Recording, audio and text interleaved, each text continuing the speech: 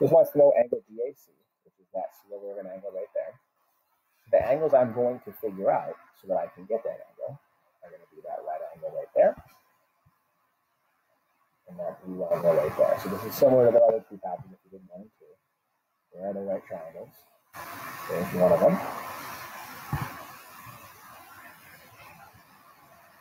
And here is the other one. So there's my two right triangles.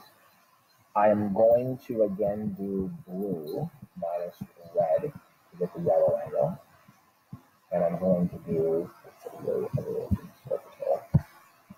do SOHCAHTOA here, so that angle's involved again, it's not sides, so SOHCAHTOA. For the blue triangle, hypotenuse is over here, opposite over here, adjacent is down here.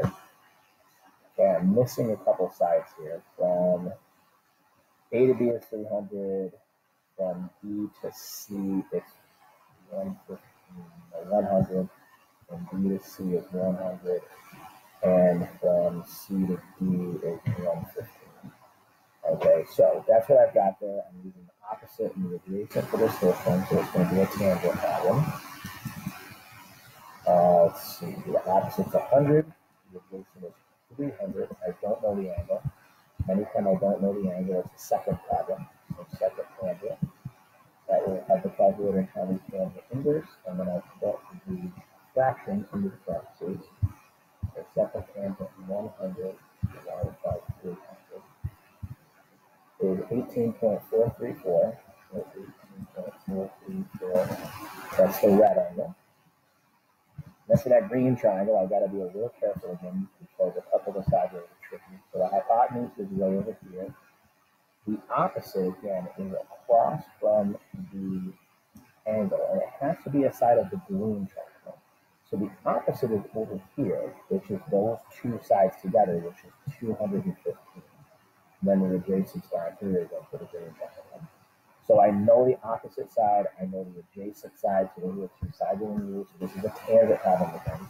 And like we've seen in a lot of these things, these are tangent problems way more often than they're anything else. We guarantee they're tangent problems. Uh, 215 is the opposite. 300 is the adjacent. I don't know the angle. Like all the time we've done this, if we don't know the angle, we have to hit the second button. Get the tangent inverse out of the calculator. We put 215 over 300 in the parentheses. And we get 35.627. That is the blue angle. And then in the beginning, we said we were going to subtract these two to get the answer out that we wanted. So 35.627 minus 18.434, 17.129. So 17.129, blah, blah, blah. Uh, it says the nearest hundredth.